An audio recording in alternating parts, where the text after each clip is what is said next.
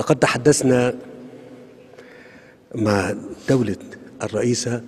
على المستوى الثنائي في أهمية تطوير العلاقات بين البلدين في مختلف المجالات ويمكن الفرصة اللي موجودة في مصر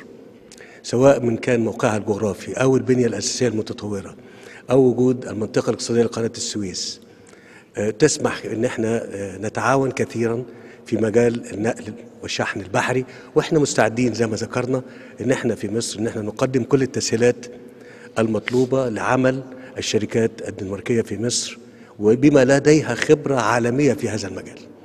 أيضا تحدثنا على إمكانية إن إحنا نتعاون في مجالات الطاقة الجديدة والمتجددة والهيدروجين ودي آه، وال- وال- والتعاون في مجال آه، الموضوعات التي تخص البيئة آه، ده طبعا يعني ارتباطا بما الجهد اللي مصر عملته في استقبالها لمؤتمر المناخ في كاب 27 في شرم الشيخ.